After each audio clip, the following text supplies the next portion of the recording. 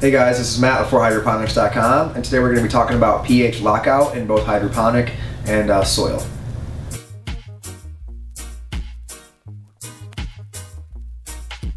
So first we'll talk about hydroponic. It's a little bit easier one to fix. Um, in hydroponics, uh, nutrient lockout would show itself as a deficiency. Same thing it shows itself in soil or soilless mediums as a hunger. Um, pH is uh, going to be a number scale that uh, we use to, uh, basically quantify your nutrient availability.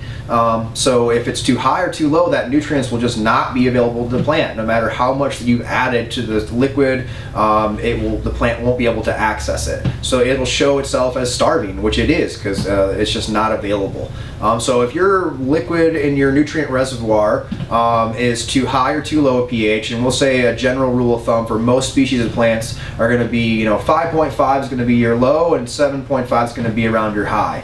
Um, in soil, it's a little shifted up and hydro just a little down, but that's a general rule of thumb. And if you're not testing your pH, you could uh, have your nutrients running really low or really high, and that could, could cause a ton of problems in your garden. Um, yields, flavors, aromas, overall growth rates. Um, it'll show up as yellowing and spotting and all these problems that just drive you nuts. And it could be as simple as monitoring your pH with a pH meter and adjusting it with some pH or pH up or pH down. Um, so uh, obviously during your res changes and during the course of the week, you're going to want to monitor it with some kind of pH uh, meter. Either uh, that's why a lot of people do use the constant read so that they can just peek in their room. It's already plugged into the wall. It runs all the time with a probe in your reservoir all the time, 24/7, and you can just peek in there and make sure that it's in the range you want. Um, that they are a little pricey, so you know a, a pen style pH probe our pH pen would probably be a little bit more reasonable for most people. Um, that's just going to require you going down there, taking a sample every couple of days, or at least maybe once a day, ideally, um, if you can get in there and doing a check. Um, I would recommend um, doing uh, some kind of plastic container and uh, not glass preferably but a plastic container um, scooping some of that water out of your reservoir and testing it with your pen it makes it easier on you and you give a better accurate measurement um, and if you do find it to be too too low or too high we're going to want to use the adjusters um, pH up or pH down which we have a ton of on our website and there's tons of different brands that make them. Um, so uh, if you have a preference or you're, one of the companies that you use makes their own, I just recommend going with one of those. Uh, but you do want to get that in range as soon as possible and you will see an increase in your overall production. Uh, and then next is the soil or soilless. This can be a little bit trickier to deal with and it might be more of a common problem.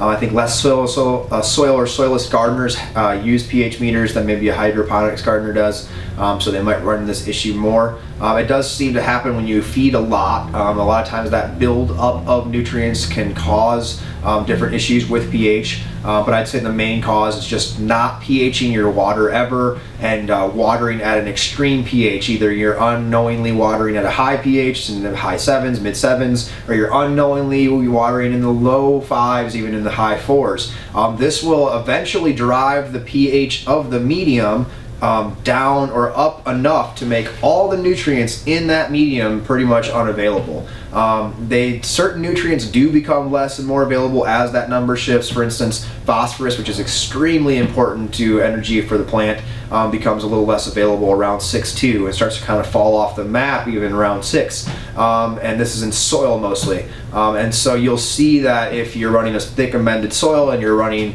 a low pH solution and you don't know it and you're starting to see that problem, you could start uh, just to have drifted your pH down so far that those nutrients that are really important during flowering periods are harder harder to get to. Uh, in a soilless mix, um, you just really need to monitor the pH of the water going in. As long as you're giving the plant the proper pH every time you water, the medium should stay right around there and that's kind of the idea behind the coco or the pro mix or the sunshine where as long as you're giving them a good pH solution with nutrients that's in there is available the medium should stay at a good neutral pH for the, the entirety of its life cycle. Um, to test this, if you start having these problems show up and you're not sure what it is, it'll show up as hunger. It's a deficiency. The plants can't get to the food, so they're hungry, they're starting to starve, they're starting to eat their own leaf tissue up to supplement their own nutrient needs. Um, and uh, so before you start what we call pray and pour, before you start just dumping whatever nutrient you think the plant needs on there, I would recommend trying to do some kind of test. Uh, a first easy preliminary test is to use a pH meter to test water that you're putting in and test the runout coming out. Um, this won't get you a very a super accurate reading, so don't put everything into this test. But if you put 7.0 pH water in and it comes out in the low fives, you know that your medium must be really, really low to drop that water that much that fast. So this is a good indicator that you'll need to do some more research and try to get that corrected. Um, and then uh, that would be something I would start with. Um, if you start getting some weird numbers coming in and out, then I'd go further with something like a probe, a digital soil pH probe, um, or one of these cheaper little uh, rapid test soil uh, pH tester kits that you basically take a pinch of soil, put in there, the powder that they give you, put in there, a little bit of water, shake it around, and it'll give you a color, and you match that color with a chart, and that'll give you a good idea of your pH of your medium.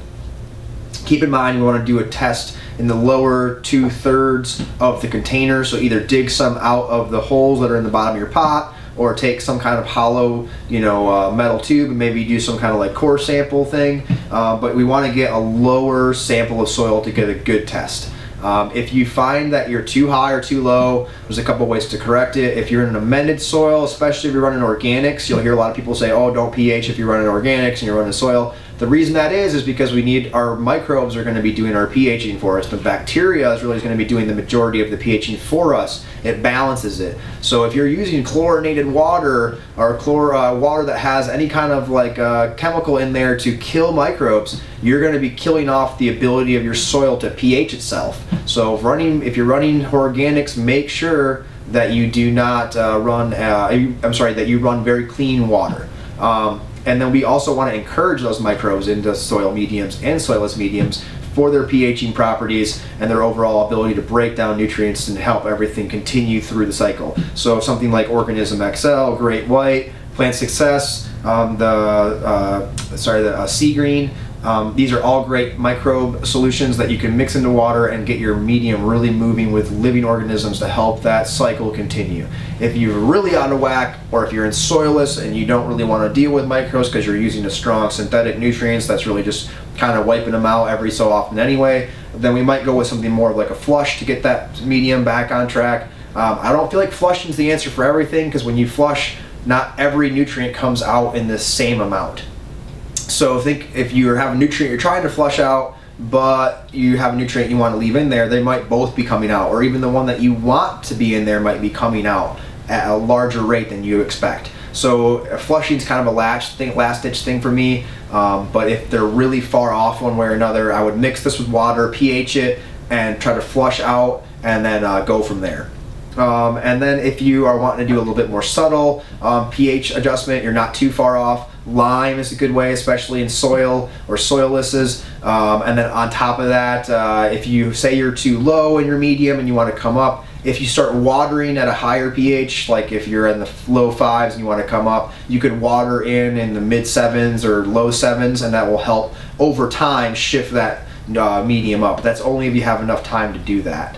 Um, once again, this will all all pH lockout shows itself as deficiency. It's hungry for food, it just can't access it. So anytime you see hunger and you're looking up pictures to double check, uh, keep in mind pH of that medium or that water um, could be the, the whole thing, the whole culprit could just be behind the pH. And once you've adjusted it, your schedule that you've been sticking to could go back to working just fine. Um, uh, so hopefully this all helped you guys out. Um, all this stuff's available on our website and way more stuff, more flushes, more lime products, more microbes, um, cheaper and more economical meters, all those kinds of things on our website. Come check it out. Um, we'll check you guys out next time.